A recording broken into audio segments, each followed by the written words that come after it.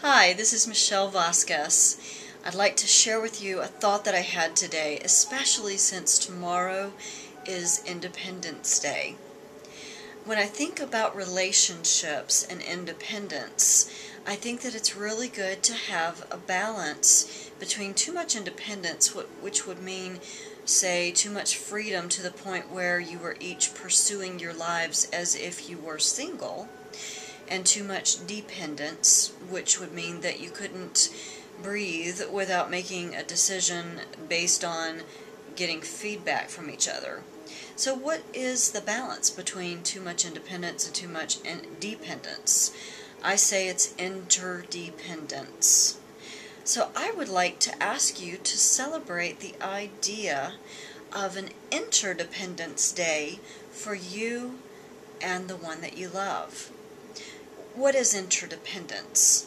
Interdependence means that you, you have an ebb and flow with the one that you love. You have a partnership. Successful couples understand interdependence is a partnership between the two of you where you can count on each other, you can depend on each other.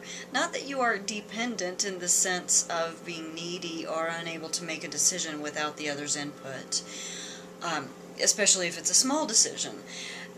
Um, but being interdependent says that you work together to find common resolutions. You are able to count on each other in times of need and yet you're still able to have that sense of being able to make your own decisions about things, especially if the other person is not available to do so. So just keep those kinds of thoughts in mind as you celebrate Independence Day tomorrow.